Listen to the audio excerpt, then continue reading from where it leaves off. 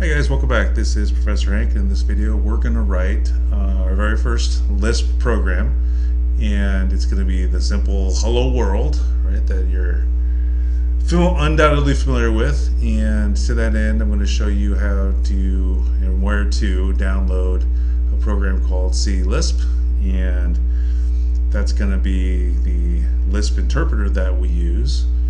And once we've done that, I'll show you a couple of different ways of executing Lisp code.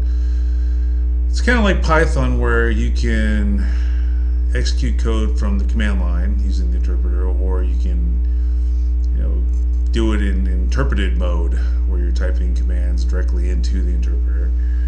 Then we'll go ahead and write the hello world program and at the very end I'll show you where to go to learn more, right? Show you how to find links to tutorials and other resources to help you learn the basics of Lisp.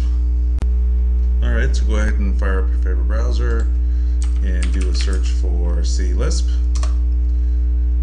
Okay, you can grab the first link that pops up right, to this page right here. Welcome to C Lisp. A little dated looking, but you know it still still does the job. Um, under our official distribution sites, http forward slash sf. That's for SourceForge. You can click that. And that'll take you to a download page for on SourceForge. So you can go and click download latest version. And then you know, the window will pop up. Go ahead and click save file. Save it to wherever you want your machine. Once that download's finished, you just double click and run it. Okay, you got your setup wizard. It's gonna go by pretty quick. Right, and, and you can put this wherever you want. Um, typical is probably gonna work just fine for you. Um, I want to put this in a different location on my hard drive than the default. I'm going to put on my F drive. Fine, put it wherever you want. Go ahead and hit the install. It's going to do its thing. It's not going to take too long. Okay. And then once it's complete, go ahead and hit your close. And you're installed and ready to go. Then when you're ready, you can go ahead and go to your start menu and then search for C Lisp. It's actually under um, a new C Lisp, right? So you can go ahead and do that. You might want to right click and you know set that on your task taskbar for easier access later. And then you can start it by clicking on it. Right. And then this brings up your interface. Okay. So this is one way that you can um, use this program. And from here, what you're presented with is a prompt where you can start typing in your Lisp commands, right? So there's this high level interactive loop and generally the way this works is with Lisp is you type in a command and then you know the, the interpreter in this mode will go ahead and process it for you. So if I wanted to print hello world on the screen, for example, I could print And you can see there's the response from uh, my command, right? So I made, I made a call to the print function, passed it the argument hello world, and um, I got my, got my output.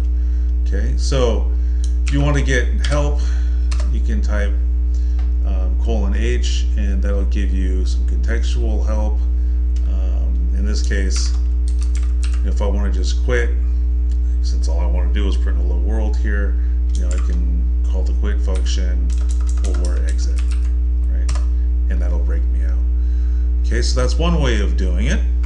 Um, another way of doing it would be to fire up your favorite text editor and again, in this video, I'm just trying to get you started to, so you can run the program and uh, you know download it, install it, and run run some some Lisp code here. So another way to do it is create your own source code file. Right, know, maybe I'll save this on my desktop as, you know, hello dot lisp.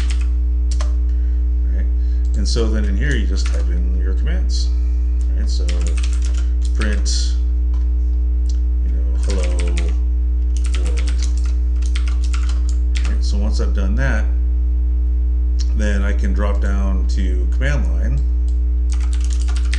I think this is the easier way of doing it, to be honest. And then you can type the name of the interpreter program and then the name of the file you want as an argument. Right, and then you can see the output. Okay, so I mean that's the basics of it. I mean there, there's your first little hello world Lisp program. Um, so that should get you started. Okay, so we're back kind of on this landing page for C-Lisp, and you know this is an implementation of the Lisp programming language, Common Lisp. And if you want to find out more information, get some tutorials and whatnot, you know, what you can do is is you can click on you know what is C-Lisp, right? And then from here, there's a link right here, Common Lisp. You can click on that and that takes you to a site called commonlisp.net and there's all kinds of information here um, you know there's a getting started link there's a documentation link to different books um, a link to the Lisp community where you can get on emailing lists news irc chats different documentation you know, if you want to check out different implementations, you know, C-Lisp was one of them. That was the one that I just did, right? But there's others too, right? So, you know, pick whichever one you feel comfortable with and you know, experiment.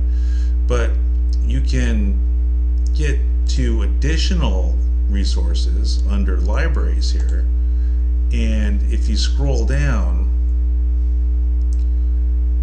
know, you can find out all kinds of information, information about GUIs, um, graphics, game development, you know, all kinds of different stuff, um, logic programming, and but if, if you scroll down far enough, then you'll get to the learning and tutorial section, and there's a bunch of links to different uh, free online resources to kind of get you going, right? So here's a couple uh, that I like. Uh, I think this first one right here, learn X in Y minutes right? This right here kind of just gives you a summary of, you know, brief introduction to all the different things you can do in Lisp by example, right? So you can go check this out and get an overview. Um, in my class that I teach, you know, what I do for my students is I have them take a look at um, the tutorials point site which is, uh, let's see here. Uh, let's see, which one is it?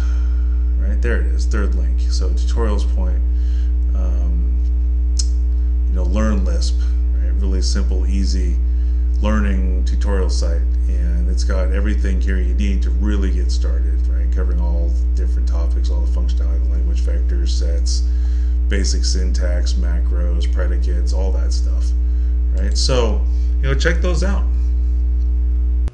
Okay, so let's go ahead and summarize what we did. You know, I just went and showed you one implementation of Lisp that you can go download and install, and that's C Lisp, right? So there's all kinds of different implementations. Do a Google search, you know, using your favorite browser.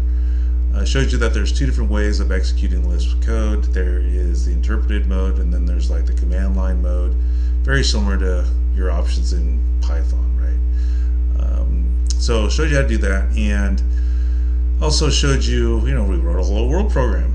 You know, all we had, it was pretty simple, It was just print hello world. You know, that's that's how those things work. Um, and showed you how to do that in both the interpreted mode and in you know, command line mode. And then at the end, I showed you a link to a site that has many resources you need, really uh, to you know get you started learning more. Okay, so that's going to bring this video to a close. If you felt that the video was useful, please consider giving the video a thumbs up. And if you thought that the video sucked, well then you've got that thumbs down button as an option as well. If you'd like to see more videos, if you're interested in more content from the channel, feel free to hit that subscribe button.